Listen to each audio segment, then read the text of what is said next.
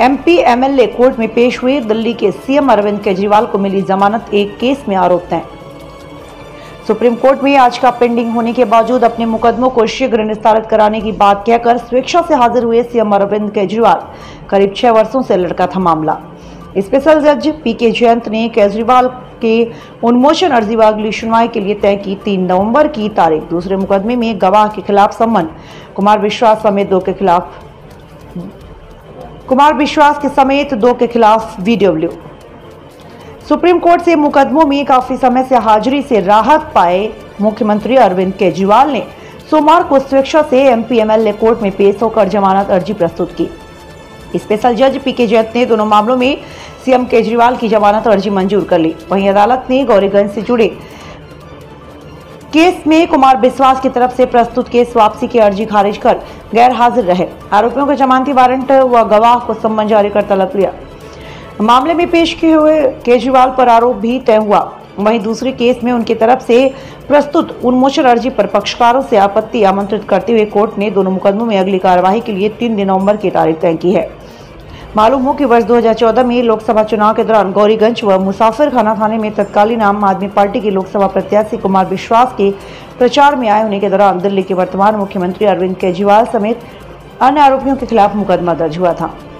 गौरीगंज से जुड़े मामले में पुलिस ने अरविंद केजरीवाल, कुमार विश्वास, हरिकृष्ण, राकेश तिवारी, अजय सिंह, बबलू तिवारी के खिलाफ आरोप पत्र दाखिल किया, जबकि मुसाफिर खाना से जुड़े मुकदमे में अरविंद केजरीवाल के खिलाफ आरोप पत्र दाखिल हुआ। दोनों मामलों का विचारण एमपी एमएलए की विशेष अदालत में चल रहा है। मामले में अरविंद केजरीवाल और कुमार विश्वास की तरफ़ से सर्वोच्च न्यायालय में याचिका दाखिल की गई थी। जिस पर सुनवाई के पश्चात सर्वोच्च न्यायालय ने उन्हें अग्रिम आदेश तक हाजिर से छूट प्रदान की थी। सर्वोच्च न्यायालय में याचिका करीब छह वर्षों से विचाराधीन है, जिसमें अभियोजन की तरफ़ से पैरवी में कोई रुचि नहीं ली, जिसका नतीजा रहा कि मुकदमे की कार्यवाही काफ़ी समय से लड़की पड़ी है। अभियोजन की इस की वजह से लंबित सुनवाई के मद्देनजर अदालत ने विशेष लोक अभियोजक के माध्यम से जिलाधिकारी को पत्र भेजकर शासन स्तर पर इस मुकदमे की सुप्रीम कोर्ट में पैरवी करने के लिए कहा था, जिससे कि काफ़ी दिनों से लंबित मामले में कार्यवाही आगे बढ़ सके।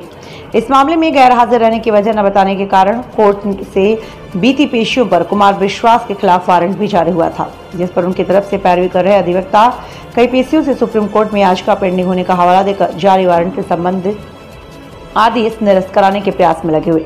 फ़िलहाल अभी तक उन्हें कोई सफलता नहीं मिली। सोमवार को भी कुमार विश्वास व सह आरोपी बबलू त्रिपाठी गैर हाजिर रहे, जिनके खिलाफ कोर्ट ने जमानती वारंट जारी कर तलब किया है। उधर सुप्रीम कोर्ट में आज का पेंडिंग होने के बावजूद सीएम केजरीवाल अपने खिलाफ लगे मुकदमों को शीघ्र निस्तारित कराने की मंशा ज़ाहिर करते हुए स्वेच्छा से कोर्ट में हाजिर हुए, जिन्हें कस्टडी में लेकर कोर्ट ने उनकी तरफ़ से प्रस्तुत जमानत अर्जी पर सुनवाई की।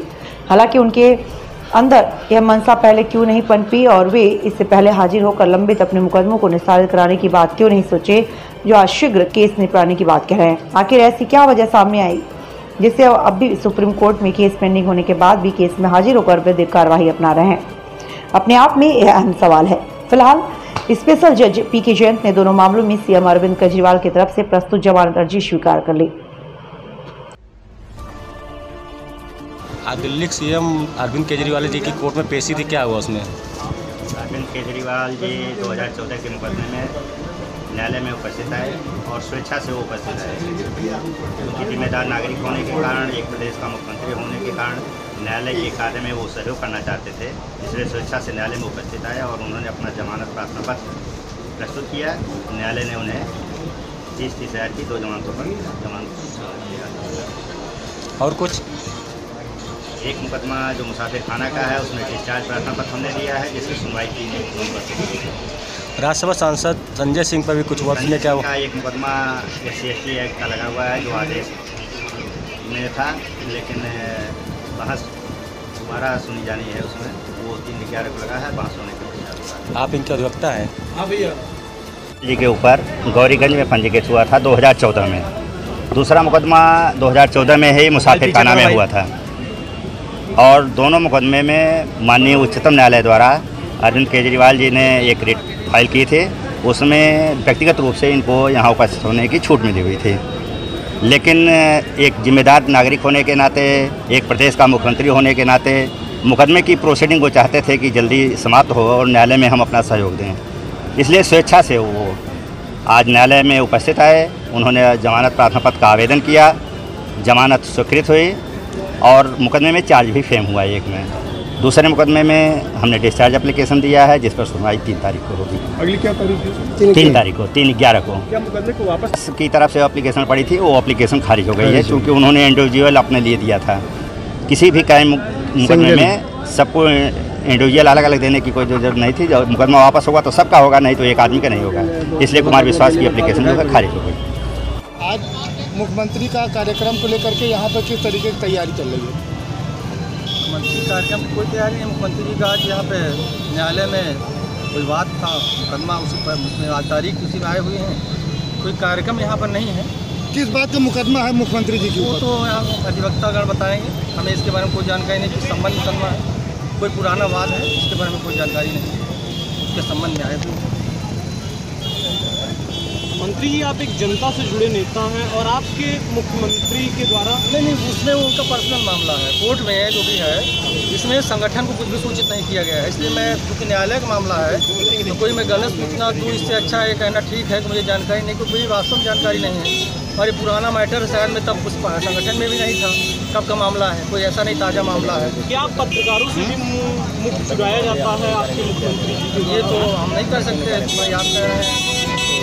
संदर्भ में आप कह रहे हैं ऐसा कुछ नहीं पत्रकारों से मीडिया से सबसे बात करेंगे माननीय मुख्यमंत्री क्योंकि न्यायालय में है जा रहे हैं तो न्यायालय में निकलने के बाद अभी सब पत्रकार वार्ता भी होगी सारी चीज़ें होंगी ऐसा कुछ नहीं ऐसी कोई बात नहीं। आप तो जो है आम आदमी पार्टी के जिला अध्यक्ष हैं आपको अंदर क्यों नहीं जाने दिया?